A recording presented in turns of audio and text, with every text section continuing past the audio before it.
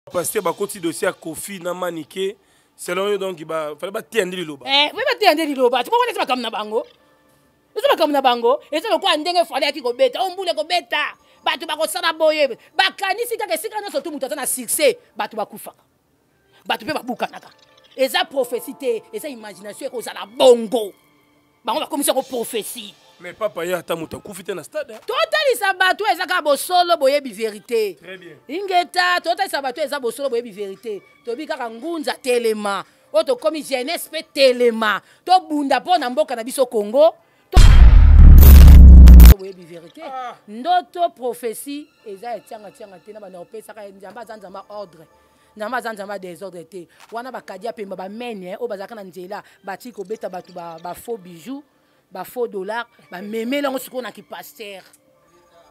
euh. eh, bamemeli yango sikoyo na kipaster bakoba sikoyo kofrappe na nkombo ya tata mokeli na nyonso na nkombo ya nzambe meme bible wana ekopeyela bango moto un jour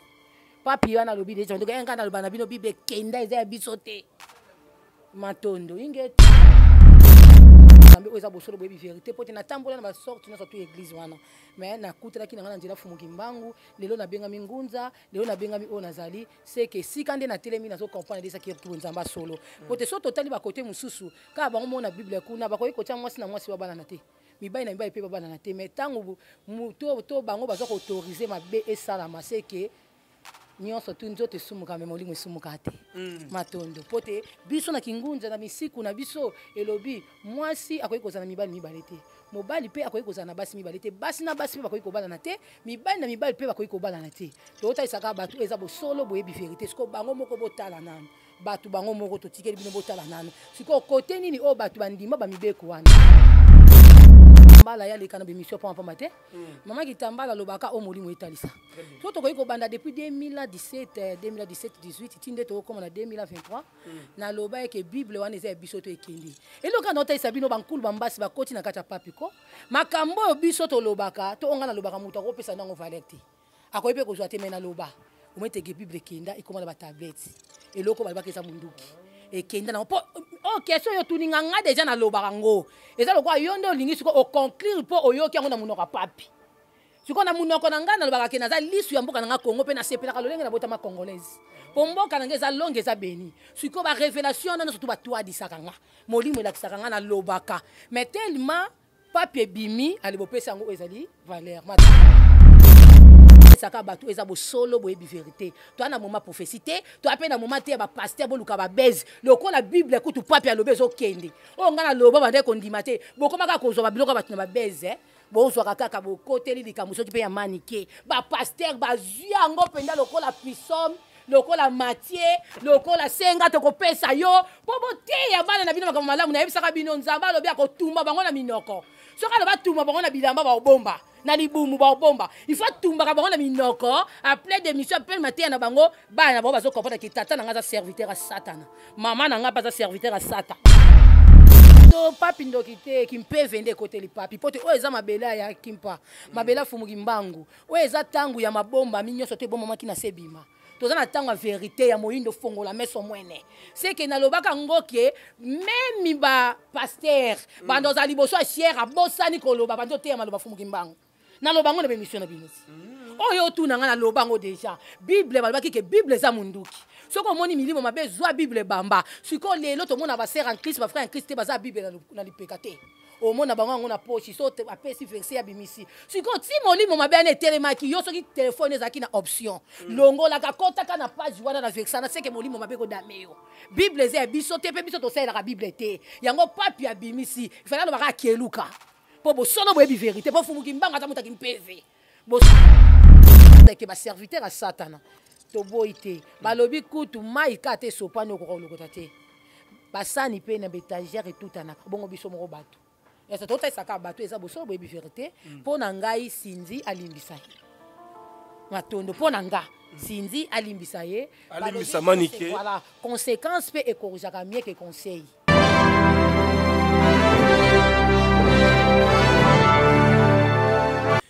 Voilà, mesdames et messieurs, chers amis téléspectateurs, bonjour et bonsoir. Ça dépend de l'heure à laquelle vous nous consommez. Nous sommes à Kinshasa, la capitale de la RDC. Jérémy Louemba, les renards du désert, est en face de vous. Alors, abonnez-vous très massivement pour euh, nous soutenir, pour nous encourager.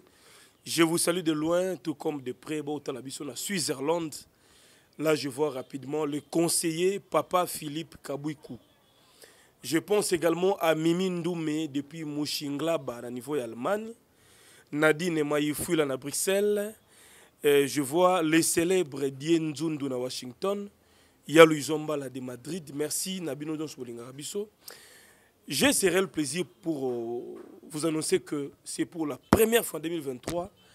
Naimba Soussou Maman Kitambala Oboibi Azali spirituel Azali Ngunza Azali Ndombe Tomega un peu ko développer na Mama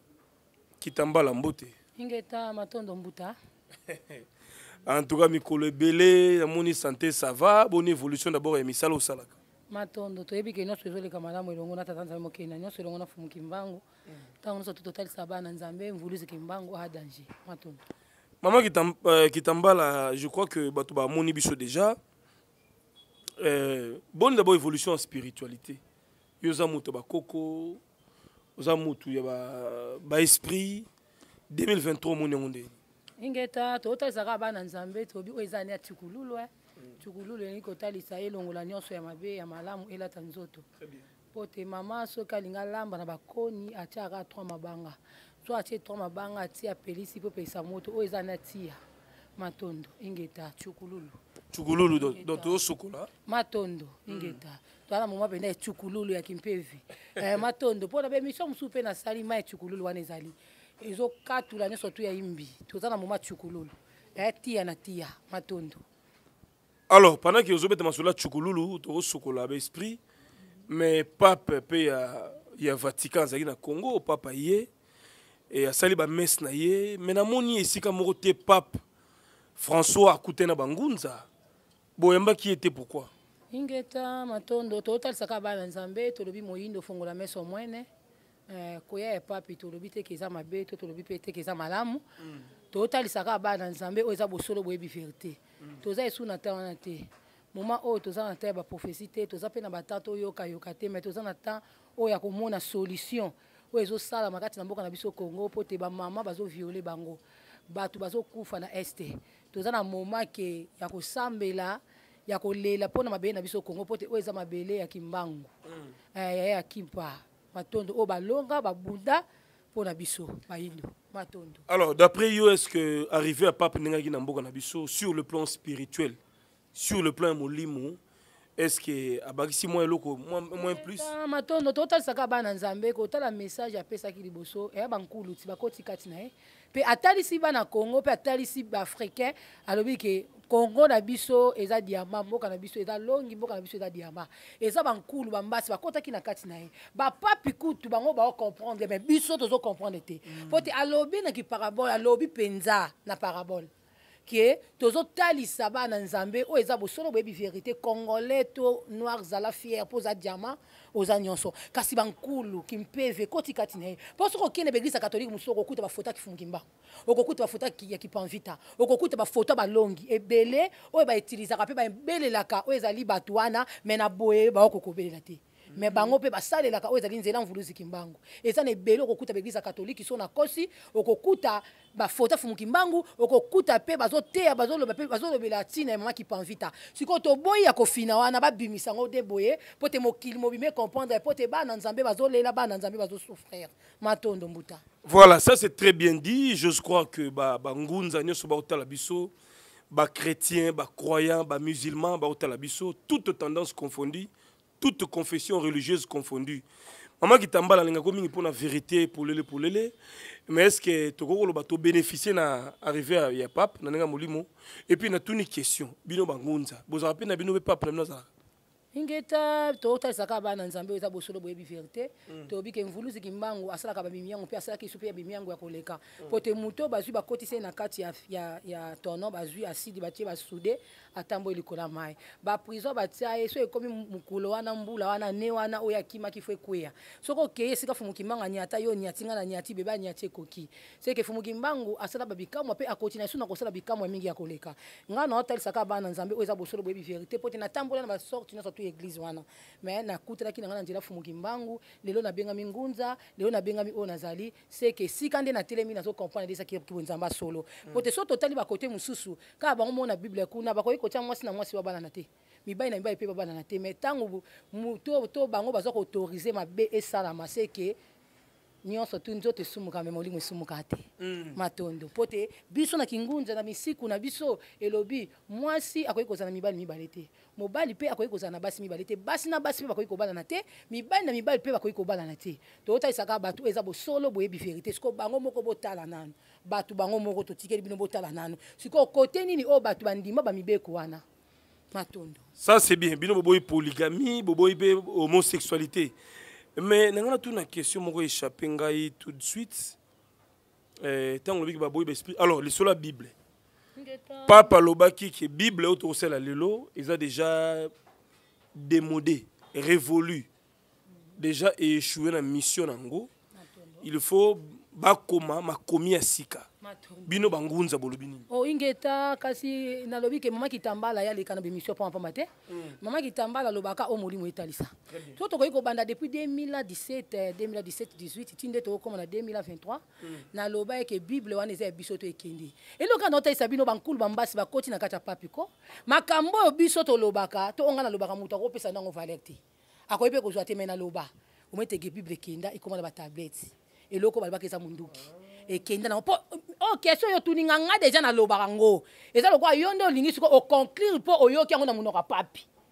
sikoyo na monoko na ngai nalobaka ke naza lisu ya mboka na ngai congo mpe nasepelaka lolenge na botama congolaise mpo mboka na ngai eza longe eza beni sikoyo barevelation wana nyonso tu batuadisaka nga molimo elakisaka nga nalobaka mais tellement pape ebimi ale bopesa yango oyo ezali valeur matondo mais bakretien ebele bazosilikela pape bazobenga ye antichrist ndoki koma, koma bible makomi ya nzambe les saintes écritures azobaki eleki bible koleka te de génération en génération na bapaster ah, matondo papi ndoki te kimpeve nde ekoteli papi mpo te oyo eza mabele ya kimpa mabele afumuki mbangu oyo eza ntango ya mabombami nyonso to ebombamaki na se ebima toza na ntango ya verite ya moyindo fongola meso mwene seke nalobaka ngo ke memi bapaster mm. banda ozala liboso ya siere abosani koloba bandi oteya maloba fumuki mbango naloba yango na bemission na bino ti mm. oyo otuna ngai naloba yango deja bible balobaki ke bible eza monduki soki omoni milimo mabe zwa bible bamba sikoyo lelo tomona basere en christ bafrère en christ te baza bible na lipeka te omona bango yango na poshi so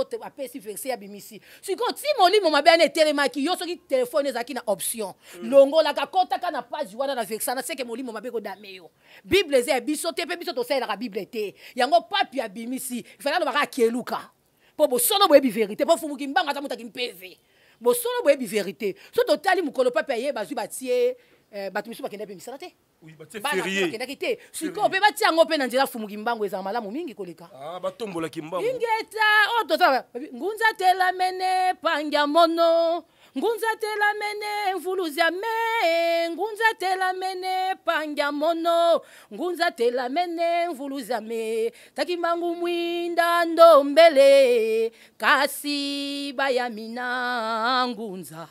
ya kame babi bafina oyo ezali kibonzambe na biso ah. Hein? fumu kimbangu bafina oyo eza kibonzambe na biso tokomi na moma ngunza nyonso mwana nyonso to elembo ekipe te meme ekuti ye na kati ya katolike meme ekuti ye na potesa abima totelema tosala mosala fumu kimbangu na bosolo na boyebi na verite mpo ah. te elenge ya mwasi ye ya kipa batumba ye na mbanza kongo na age ya moke mpo te biso na bino tozwa mosomi mvuluzi kimbangu ye nde aza mwinda na biso bandombe mwinda mpe babomba yango te mpo te mwinda te obombi yango oza mosika ekomonana mm. fumu kimbangu aza mwinda na biso bandombe mpo te oyo eza mabele ya kongo ngai nabikisa bato misusu na mabele moto aza babeki na si mabele na pakoli abwaki babeki mm. seke totalisa bato ka eza bosolo boyebi verité guérisoningeta fumu kimbangu biso na baest na bakoto kokosa mpenza tokoti kinyongi bangunza bomoko bataki mpeve bosangani banzika ebomwana na bobi masasi bagrenade bamungwa bauzi tokotindela kaka banguna esika baza na banzoi bango banza obima totalisa kaka bato eza kibonzambe na biso to reconnaître kibonzambe na biso mpo te cimetière mpe eza esika oyo eza sacré milimo mpe ebundelaka biso mais meme na kati na baeglise bayebisi bino alliance moko eza te na bato baza na bomoi na bato baza na kokufa bona alliance te mais so bozoi kaka na kati ya eglise nde bobelisi le dieu de isaac le dieu de jacob nzaba moïse pitié baza bato basalaki bikambo na israel badaya badaya baza na bomoi te bobelela bango mpo anini sikoyo soki ozongeli wa yo babenga kindoki nga babenga nga ndoki babenga nga moto ya bakisi na ndimi yango mpo te nalataka milimo nyonso ya bamema cuwa ya batata ntwalani bazinga ya nyonso to ekotaka kimpevi mm. ingeta matondo totaisa bato eza bosolo boyebi mm. verite matondo voilà ça c'est très bien dit donc euh, je pense que napesi donc topesa boke cuwa ya mbo raison parce que boketsho alobi ke bino bakongole peuple ya zoba boyambi pape me kimbangu bobosana ye ingeta aloba bosolo boyebi verité mm. eh, totesaka bana nzambe oyo eza bosolo boyebi verité biso kutu ngai kutu na bango nakomi oriske batumbanga nde batumbaki panvita eh. eh, totesa bato eza bosolo boyebi verité mm. eh, batumbanga kutu ndenge batumbaka ye ya kimpa mpo monoko na ngai oyo ekotikalaka na bosolo oyo molimo etindanga na koloba mm. eh, mpo te naza na mposa mabele na ngai ya kongo epambwama mabele na ngai ya kongo oyo molimo etalisaka ezala kaka paradis mm. na ozala te na mposa na yango ebeba ngai aza na mposa mabele na ngai epambwama mpo natambola mapeye ebele kasi tata mokenda nyonso azongisama mabele ya kongo alobi ke mabele no eza longi mpe mabele no eza paradis ezo totalisa bato eza bosolo boyebi verité lelo cimetière ekomi esika malewa bato bazwi biloko batie likolo ya tombo estce yo na kati ya mbetu na yo olata omataka na basapato te mpo te eza nzela ya biso nyonso totalisa kaka bato eza bosolo boyebi vérité donc to respecte ba cimetière to respecte ba cimetière to respecte ba place oyo eza sacré même ba église mpe eza sacré mais bato ebele babebisa yo okoki kozala lelo nga nalaki nzala na bana nga mais na ye église na église na ye yo mpo ye na bana na yo biso nyonso tokoti na église ti mais sikoyo bana na nga baza na jite ya komela na gato yo opesi bango na kati ya église opesi bana na yo seke toyoka lisusu mateya te mpo mwana kuna ndolela olela nini olela bisukani eza maboko ya mama wana opengwisi motu na kati ya église to aye kozwa un plus oyo ayaki kozwa totalisa kaka bato oyo eza bosolo boyebi verité papi ntango alongwe na mboka na ye mbula ebeti ekweyisi mabanga eh, baglace sikoyo bolandaka basigne bolobaka batoatoa te bapaster bakoma koluka babase me mokolo ya deuxième jour na ye oyo papi alobeli na stade mbula mabanga ebeti mpe ya baglace ingeta to hmm. biso totalaka basine ingeta abike tolobela bajeunesse jeunesse ya lelo ebebi so totali bacorbillard lelo toomonaka bana mike mai soka te bakoko na biso akala bazalaki moto akoki kokufa mpe balaki na nsima ndako babuki lititi batie moto azongisi intien kasi omona ke kaka jeunesse yango wana baye babandi susu kodétruire mpo te jeunesse ya lelo eza ya kobeba eloko nini atalisa ye bango mpo te balingi vie pressé balingi batelefone alobakisaka bato eza bosolo boyebi oyo eza verité mm. kasi mboka na nga kongo eza longi eza beni mpe moto moko ti akoya mpo adétruire yango elongo na fumuki mbangu tobika to reconnaître mpe bankulu na biso oui. to reconnaître kibonzambe na biso mpo te soki to reconnaître kibonzambe na biso nyonso ekozala malamu pourkui tozoloba bongo bandebisi so coutume eza kindoki mais soki ozongizongi tolingi tobalana toyaka liboso na coutume eh? eglise toke nsima leta mpe toke nsima mai toyaka liboso na na coutume totambo etambo na ti toya kosuka na religieux pourkui kasi babanda na religieux te mpo religieux etaki mindele très bien voilà alors bato balinga bayeba sharo osolanga mama kitambala bie biloko olataka oyo nde ebomi pouvoir na yo to eh, biloko nalataka yango ebomi pouvoir na ngai te mpo naloba yango ntango nyonso tu mama kitambala ntango azosala émission to ntango nazala nde mosusu soki mpe nalongoli nazala mpe ndenge mosusu po papa alataki croix ya monene tomoni croix yango batie motu maboko croise tout ça na banyama pembeni bato bainterprete makasi croix oyo papa alataki wana yo olati sikoyo baoyo bamayaka oyo ezalaka mpe na esprit ezalaka kibokoko hmm. eh, ezalaka kibokoko oyo eza mpe kasaki eza trousse mm. eh, eza kaka kibokoko so nalongoli yango ntango nyonso tu naza na kimpeve nzoto esumukaka me molimo esumukaka te mm. eh, molimo ya nzambe moto akoki nzoto esumukaka te me nzoto esalisaka baerreur me molimo esalisa moto baerreur te mpo mm. ngai nazwa bakimpeve mosusu nakomi koko mais so napesi o age nango kokima nazwa mpe bakimpeve mosusu moto aye otala ngai boya reconnaitre te wana mama kitambala so oye na ndenge ya mabe eh, totalisa bato eza bosolo boyebi verité to naosalelaki bonzambe na ngai mama na ntio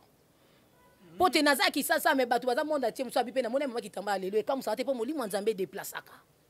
nakoki mpe ovanda na mokolo nabimi mpe te meme nakoti mpe na biro te me moto aye otala ngai alobi lobi tokutanaki no na nzela tozalaki mibale obikisaki yango ngai mpe na ye na moto obikisanga me so natali journal elobi natambolaki te seke fumuki mbango atandamaki na 24 pone vrai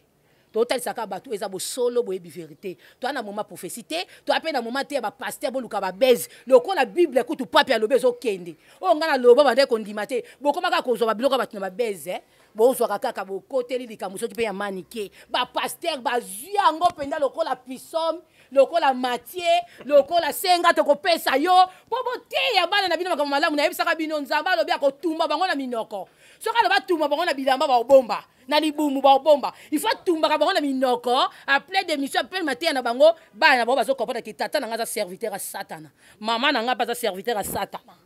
ozototaisaka bana nzambe oyo eza bosolo boyebi verité nde bapaster bakoti dossier ya kofi na manike selon yo donc fale bateya nde liloba eh, oui bateya nde liloba ti bakonesi makambo na bango eza makambo na bango eza lokola ndenge fale yaki kobeta o mbula ekobeta bato bakosala boye bakanisi kaka esika nyonso tu moto aza na succès bato bakufaka bato mpe babukanaka eza prophesie te eza imagination ekozala bongo bango bakomisi yango prophesie mais papa ye ata moto akufi te na stade totalisa bato eza kaka bosolo boyebi verité ingeta totalisa bato eza bosolo boyebi verité toyebi kaka ngunza telema oyo tokomi jeunesse mpe telema tobunda mpo na mboka na biso congo tosoutenir oyo ezali gouvernement na biso Mm. Eh, po totesaka bana nzambe bosolo boyebi verité fumukimbanga aloba basoda nyonso tu balata bashenete fumukimbango batya trois soda banesive banutete banediongo mpo te basoda wana ntango babimaka bakozwa trai bafini yango boye ekomi lokola papie babwaka oh, mikuse mikuse wana eh, bazwi yo bakangi yo boye so jeremi ozalaka na wapi ntango bakangi yo boye so batie loboko ozongi na mboka na yo hmm. totalisaka bato eza bosolo boyebi verité to reconnaître kibiso totombola oyo ezali kibiso tokomona ke nyonso to ekozala malamu elongo na fumu kimbangu alors bandeko mingi ya bakatolike basalaka bachapele mizima basalaka bango bachenete na basao batanga babulubulu wana bino bangunza boza na chenete wana oyo ya tosambelaka kichapele te biso tosambelaka kaka mai moto azwi lobiko mpo te fumu kimbangu asalaki 30 ans na prison bandoso peleka mai na mungwa mm -hmm. eh, totala mpe esika soleil eutaka oyo oh, tosalisa tosala ndeki mpevi toza na limiti te eh, oyo ezali ngunza eza limero ya suka toza na limiti te tokoki kobikisa moto na mabele tokobikisa moto na mai tokobikisa moto na mungwa tokobikisa moto na likasa na nzete na maloba mpo te so tozongi ka mpema moke tomona yesu te me na bafilme ya yesu oyo batiaka omonaka mpe asalaka pratike azwi so ya tie apakwe na mabele apesi mpe moto abiki sikoyo biso tosalelaka nyonso tu wana toza na limiti te mpo ngunza eza nimero ya suka matondo ah, ingeta donc ngunza numero ya suka ingeta matondo topesaki mpeve molimo osalaka mpe babougie te eloko totalisaka bana nzambe oyo eza bosolo boyebi verité hmm. soki totali baeglize eza ebele eh, na baeglize eza ebele okokuta mpe bato mosusu baosambela mpe kata tanzai mokili na nyonso na nzela ya jésus christ okokuta mpe eh, esika tokenda bamarkari okokuta kuna baopesa bato balimière osudumari baopesa seke motu na motu esika surtout yo okoti eza par niveau par niveau tozoloba totalisa kaka bana nzambe oyo eza bosolo boyebi verité ngai alobaka yango ntango nyonso tu oyo esalaka kati na ngai eza molimo eseke eloko ekokabola biso na mission oyo eza kaka liwa mpo eza nzela ya biso nyonso sikoyo nakoki kokota te na bana koloba ke basango basalaka boye basango basalaka mpo ngai osalaka bougie ngai kuna yamba na basango ti mm. eh, nayamba mpe na bamasere oh. eh, sikoyo naotalisa bino kaka eza bosolo boyebi verité nayamba mpe bamisilma ingeta mpe nalingi koloba te ke lokola yambi mizilima yo olongwa mizilima lokola yambi ilongwa moto ya katolike molimo na nzambe nde etushe yo esika oyo omoni bikamwa mpe molimo na nzambe ezongisi yo na nzela ingeta oyo totalisa bato eza lokuta te natalisa bato bosolo boyebi verité nayebaka tous les races mm. eh, na bafazer na bakuluna na bapaster mpe oh, bota oyo tolobi kutu master to tolobi kutu sango eza na papa moko nasunga ye asala 30 ans na budget ya mboka na biso congo mais papa nakota na bureau na nga makambo oyo amona na makambo oyo avivra na bapriere nde tolandi ayebisi nga mama kitambala oleki kutu basango olandi me nakoti na kati ya biro na yo ti na bimi oleki basango mpe ozotia mosala no mbongo liboso te me eloko nalingi natalisa yo eza don oyo nzambe apesi yo soki mpe lelo libumu na yo eza nzala okoka ko kotravaille te réponse papa wana apesa ngai yango wana hein? eh, asali 30 ans na budget na biso ya congo oyo tokotalisa bana nzambe eza bosolo boyebi verité ngai eza na bamessage mosusu nazwaka mpo na mozito oyo azalaka première ministre na banda kozwa message na ye depuis 2016 badossier bamikanda na koma na kotya na biro na ye soki bato bazalaka na biro nde bapesaka ete bapesa ye ntango yango nde bapesa ye afongola oh. eh, tozotalisa bato eza bosolo boyebi verité nakenda meme koluka bato na ye na marana hmm? na kinkole na marana na kote ya basite na ye eh? biro nde mosusu ezalaka kuna natika mikanda sikoyo bato oyo atikaka na biro bapesa ye mikanda na mpo ekomi ntango na ye wana afongola ngo mm. totalisa bato eza bosolo boyebi verité mais yo lokola okomaki bazoyoka eh. na bato oyo bamemela message mm. eh, totalisa bato eza bosolo boyebi verité ingeta alors ede biso omonaki vision ni mpo na eh, mozitondo jamais na bapaster te molimo na nzambe eza molimo ya ordre eza molimo ya desordre te eh, totalisa mwa eza lokola paster okoti na kati ya motuka obandi oteya oprofetizele oyo profetizele oyo profetizele oyo eya molimo ya nzambe te mpo profesi ndoto eza vi ya motu ntango yo deja olobi vi na yo moto apambolo na 12 heures moto mosusu azalaki wana kuna so azalaki moto ya misala mabe akangi yango omoni bapaster babomi mboka babomi mokili elingi koyeba te otelemi ya namonaki mpo na mozitu boye namonaki mpo na président na nga boye namonaki mpo na motu boye wana eza molimo ya satana omoni ke bato bayaki famille nzela moko me bakoma ozonga moto na moto amati moto oyo kuna kati nzela makolo me bawuti na bureau ya paster katu biso bangunza bongo te eza secret monene na vie ya mwana nzambe matondo mm, merci merci mpo na sagesse wana bandeko mingi bapesa baprophesie na bango en public et se réalisa nango mpe te mpo toza ebele na église bamitema ya bato boyebi te ntango ah, moto akolobake na moni ozo voyage ntina fin de l'année bakobloke yo mpe ka na église totalisaka bana nzambe eza bosolo boyebi verité ah. ndoto prophétie eza ya tiangatianga te na banda opesaka nzambe aza nzambe ordre nzambe aza nzambe ya desordre te wana bakadi ya pemba bamene eh, oyo bazalaka na nzela batiki kobeta bato bafaux bijoux bafaux dollar bamemela yango sikoyo na kipaster euh. eh, bamemela yango sikoyo na kipaster bakoba sikoyo kofrappe na nkombo ya tata mokeli na nyonso na nkombo ya nzambe meme bible wana ekopeyela bango moto un jour papi wana alobi deja ndoka enga naloba na bino bible ekenda eza ya biso te matondo ingeta voilà merci à maître siza sukama puissance ya mikili lebose chicha chimbu na turquie bishop dina ngama ainsi que mama magi ngama depuis caroline du nord na états-unis eh, nabosani te sema mayasi femme légitime ya jansi mayasi forza italia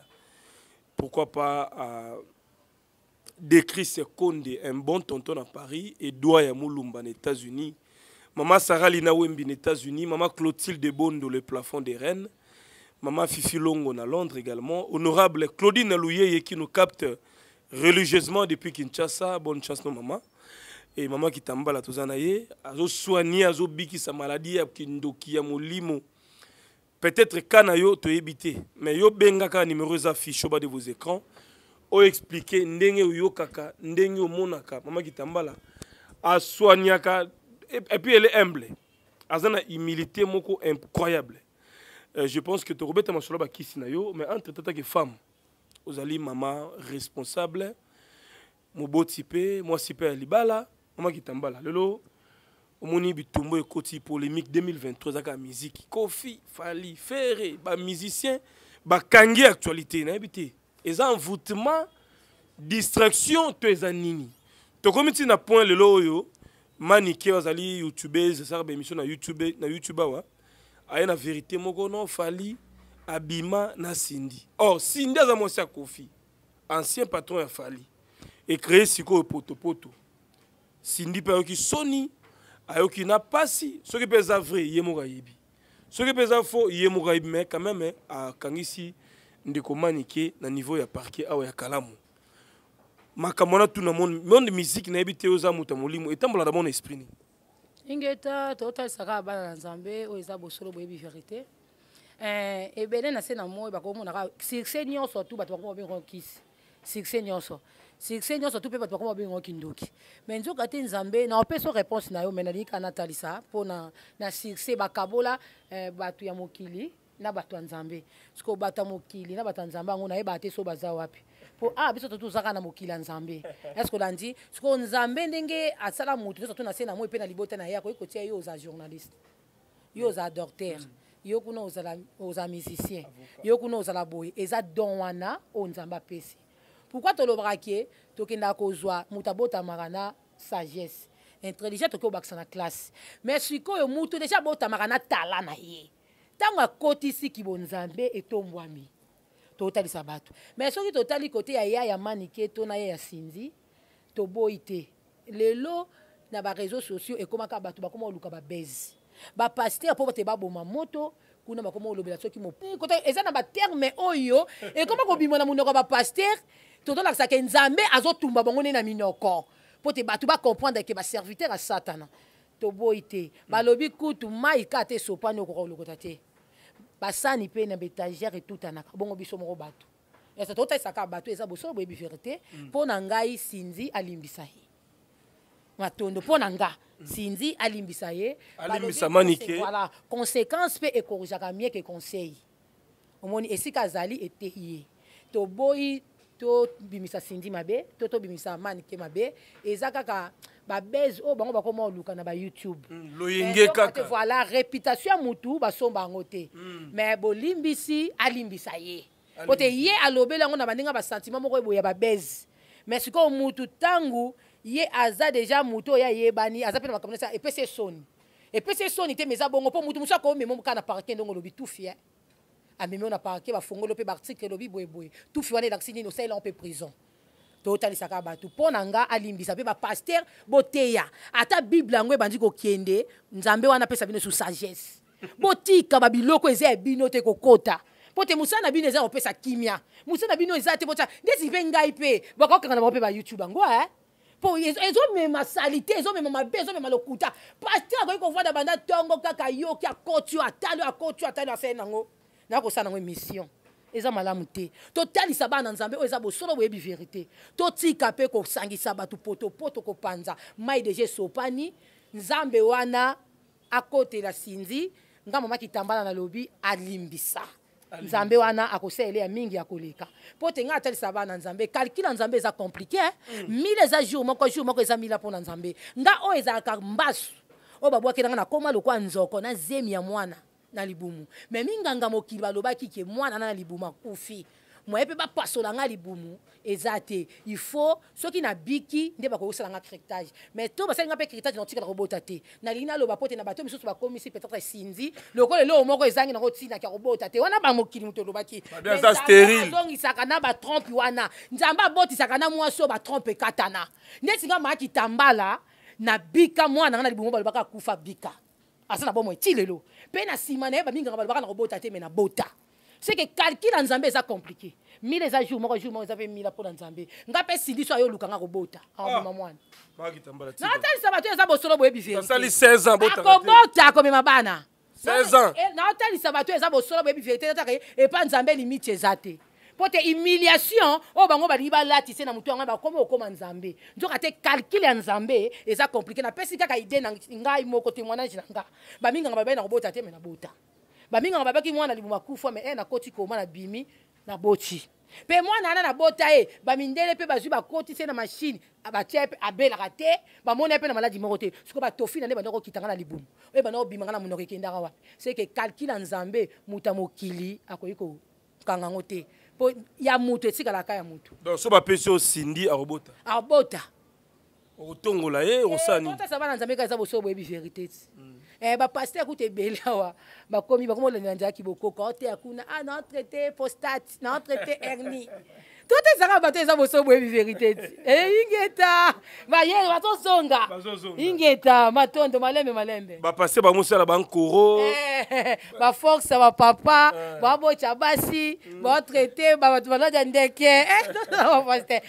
mais ezalaki biloko liboso banda babengaka ya bakoko ya bangunza ti eh, ebandi obima ingeta eza mabe te Voilà. Ça, c'est très bien réfléchi, Maman Kitambala. En tout cas, ça fait plaisir de te recevoir encore. Euh, parce que ça fait longtemps. Ça fait longtemps, en tout cas. Bandego Mingi Baota Labiso. Réalité spirituelle, les alaka. Manike, bon courage, Naye. Ndenge Maman Lobi, Maman Cindy Azali. femme alimbisa aretire plainte bateya manike azongela te prochainement alors mpo na oyo etali bokoko la santé na pas de prix ndenge mondele alobaka bato bazobela basida kindoki ekomi awa mama infection ekomi sida cancer ebimi boye bato batiaka tembe yo obikisaka na bacancer tomona mabele namona ba cancer de sein pa na yo namona ba zona kobika yindi ebele yango na traite mikolo te ba cancer ya mabele lobela bango pena to baza na ba cas ba cancer wana mabele ba cancer soki ndenge nini basala ndeni so baye bazwa lobiko kisi ezali bazwa lobiko mpo te ekomi ntina bana mibali tokomona bango na mobali cancer ya libele eh. Eh, balobi oso oh, kaka oza ozobela o oh, cancer o oh, postate wana problème ya force bamama mpe bomibongisaka kote na biso kibomwasi olingi mpenza nyonso tu malamu tolobi benga nimero mama kitambala seke nyonso to eza malamu elongo na fumu kimbangu nga mpenza nakoka koloba mingi te me nalinga nde moto atémoigne eh, moto mpenza atémoigne na heure mosusu naboyi kosala baémission na tietie te bakisi mpo namoni bato bakomi déjà kolandela oyo eza bakisi na nga mm. omona moto mosusu atindi kisi kuna nakoma mama kitambala mikolo na bootya bafiche so moto atindi mbongo na ye natindele bakisi nga mona aza na code oyo naobeta nayebi ke so akomi kuna na explike ye oyo eza boye oyo eza boye naboyaki mpenza kosala bemission nazodakisa nalakisa moko moko bazotriche bazopirate eh, bakisi matondo ingeta yango tokoma olobelaka na monoko mm. bato oyo deja babiki na bato oyo nano mpe babiki te boya bozwa solution na nzela mvulusi kimbangu na nzela bankulu na nzela ya tata mokenda nyonso ya batata bapongutulendu mm. eza na bato mosusu bazobika na mai mikolo oyo toza na mai ya cukululu mm. mai ya cukululu wana ezolongola nyonso oyo eza ya bonzambe te moto oza sonzo na bamari de nuit na bafemme de nuit wana problème ya voyage ya mikanda nyonso tu sokolama ya cukululu okozwa mpenza tiya Tiya na tiya mutu oza na ba problème sonzo zwa mai ya tsukululu nayebi ke bolandi baemission ebele bato oyo mpe bazwi bazwi batémoignage bazwi misala bazwi makambo ebele na mai ya tsukululu mpo te molimo etalisaki ezaka biloko tosangisa na mai ya tsukululu ezosala makambo wana eza eza o beniti bomélange tunde te basango mpe basalela o beniti tinga alobi tsukululu basango mpe batumba 100 biso tobenga bilwazi me bango batiaka 100 biso totiaka biloko ebele ese totalisa bana nzambe oyo eza bosolo boyebi verité tolobi moma oyo tokomi na moma chukululu te ezela chukululu wana euti na nkamba eza mai ya nkamba toni base nango eza nini eh, nzambe asalelaka moto bikamwa selo kondima na ye mpe selo do na ye nga bana azali na neva nakosambela meme huile na biso ya ndako ebaluki mpe huile d'oction hmm. nakosimba mpe mai ebaluki mai nyonso toso opamboli yango ekomi beni eloko totalisa ngai alobi nanga mai ya kamba te mpo bato ebele mpe bauta kozwa lisusu bamai ya kamba kuna ebele na ba 20 litre bomona bango mpe basala baaccident me bazalaki na ba 20 litre bamai ya kamba eh, totalisa bato ka eza bosolo boyebi verité kasi te totalisa bato eza omoni eloko ngai alobaka verité bosolo eza kokosa te yo tuninga mai ya nkamba me tomona mpe baaccident bato bautaki na nkamba baozonga motuka ebeti tono motuka nde ebeti tono bakende boye bakuti bato mpe bakufi me bakuti ba 25 litre ya mai ya nkamba eloko totalisa bato eza boso boyebi verité molimo ya nzambe ekoki kosalisa baerreur te yo nde moto olobi na ngai soki eza ma ya nkamba yango ngai mpe napesi yo réponse te yo eza ma ya cukululu eza ma ya cukululu toka na pompi tya biloko molimo etalisi ya bokoko totie tosambeli moto azwi lobiko ifale omemela ngai ata echantillon ngai mpe nameka ma ya cukululuta matondo toomema mbala nsima eh, ok ngai fona ifo na expérimente ma ya cukululu wana eh, elongola journaliste ebele oyo baleki na ngai bazwi dama ya cukululu ah bongo yelinga te nde nini matondo kozwa pa porsche yelanga ma ya chukululu nasala kir nasala kir yango kuta erataka te toyebiso mpe teke yo un mo de mwa te babi tiya na tiya ekotumba nyonsoala moko balien famille te totikaka oyo totalisa bana nzambe ngai naboyaka nde kote kuna condamnation moko boye eyo pasteur obengi kuna na kati ya libota na bino boza na balien na balien wana osenga motu ngombe olobi naomona esprit de mort na kati ya ndako na yo tya ngombe mpo esprit de mort wana elongwa mpo balien moko bayebisa bino na libota nde bokufa na sida to na cancer tala bameni oyo banda osenga baya nango na kipastere molimo ya nzambe elobi na yo ke ndoki moko ya libota na yo oya na états-unis oya oyiba kaleson na yo mpo akomisa yo obanda kobota lisusu na kaka na basezarienne ti okokufa tala bato yaya mpe mama longola bakalation nobomba bongo demo soki alobi akota na kati ya ndako ngai nasala badelivrance mosusu ya bato mosusu moto achange stratégie bomine ndako bokangi machange stratégie adusoli na sa mabele atamboli 7 mètre esika nguye eza taki asali mpe makambo nazongi mm. sikoyo ndoki yo oza na kali soki nzambe te oza na kali ya kokale ye ata olongoli yango ko otia na kati ya saki ayebi kotia na kati ya saki akoki kozwa toyakisa bana nzambe bosolo boyebi verité ebele bakotisi bandeko niongo na bamboka libanda likolo naza kaka awa na poste babenga yango nini baagence na bango bakendaka ni wester nzambe azolakisa ngai mpo na yo tyela mi dollar na minute oyo natelemi naza na wester nio na bana na ngai toomata ngomba e biso ngomba eh. soki yoki ngai nalobi mama kitamba naza na ngomba bolimbisa terme eza naza periode ya kibomwasi Eh, soki mama alobi noka aza na ngomba comprendre ke mama aza likolo aza na periode mama kimwasi yango biso tobenga ngomba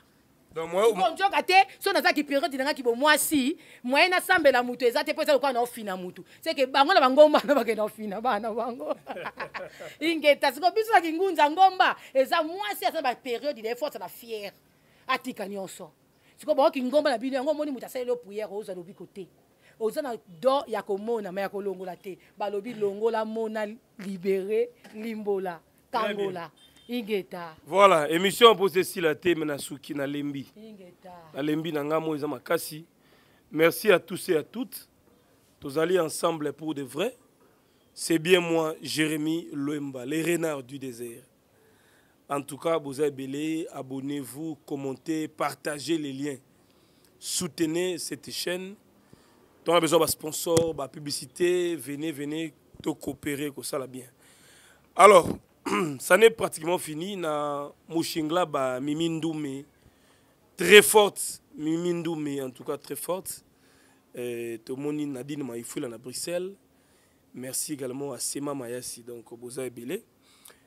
numéro eza affiche ba de vos écrans to orodicte yango to to tiele bango wana ngeta yango aka eza liboso mm. matondo donc bato maladi babenga ngeta pe baka oyo eza mpenza ebele ebele ebele oyo molimo etalisi na libanda mboka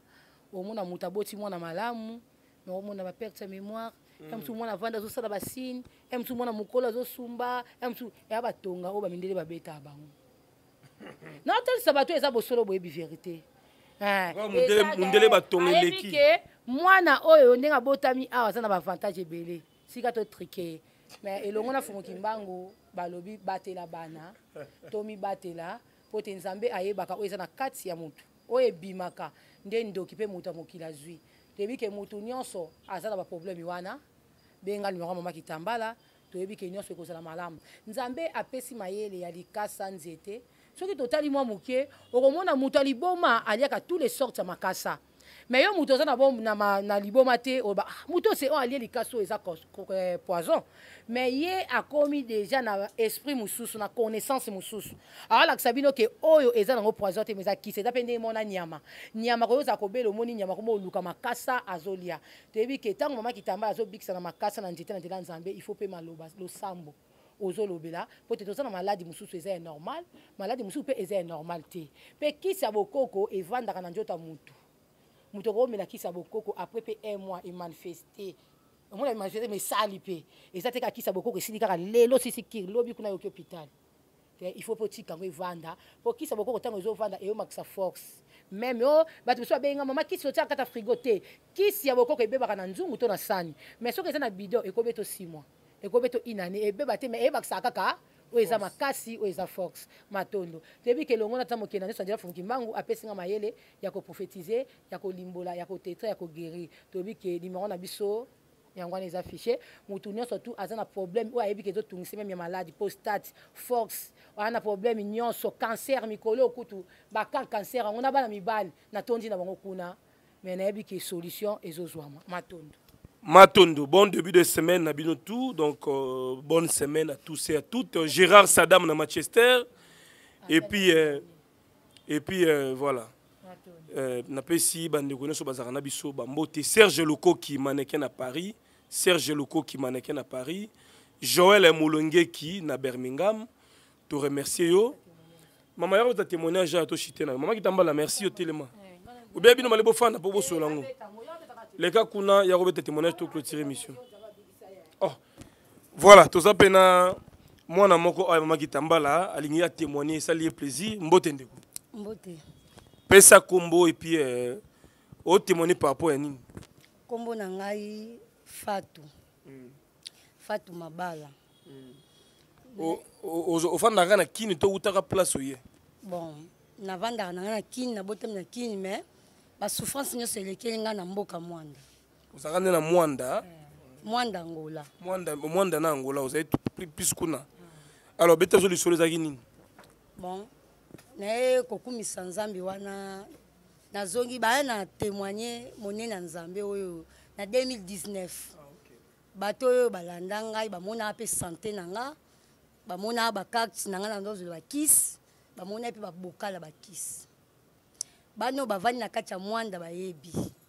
Hopital oyo ya general, hopital ya Mwanda, hygiène, na nda ozwa bakisi wana. Naye kokumisa Nzambe wana. Ti na 2023 oyo oyo. Naki kosalisa ba examen eza kaka te. Mhm. Eza kaka te. Donc nde naza boye naza bien. Obelaka sida ozo vivre na na Angola. Bon, nazwaka sida na nzela ya mobali te nayebaka yango mpo mobali oyo ya ngai navandi ne ndako moko basala ye test aza nango te eza kindoki kaka te nasalaka mosala suki hmm. ekisa batonga wana tobuka hmm. tonga te nayeba te esika nazwela yango hmm. me mobali na ngai basala ye test aza nango te ah,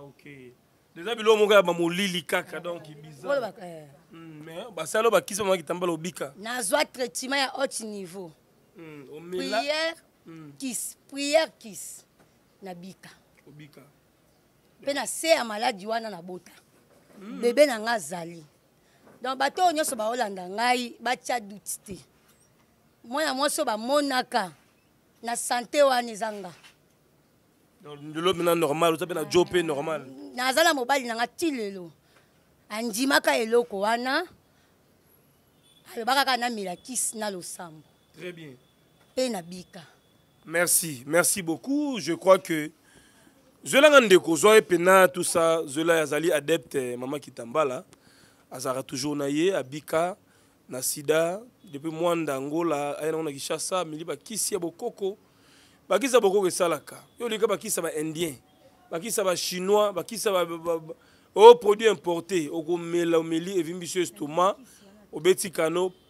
Ouh, maman. Depuis 2014. Depuis 2014 na bandaki traitement. naye kokata traitement na ngai na 2019 naza mobimba sikoyo nazalaka aire moko navandi naseki aire moko navandi na leli nandimaka te soki eza ta mosusu na bachrétien leka apesa témoignage ganga te oyo ka nzambe asaleli ngai nzambe ya mvuluzi kimbangu elongo na mama kipamvita bato nyonso baza na bakao bozala desi te kobomba te benga limero oyo okozwa traitement okobika next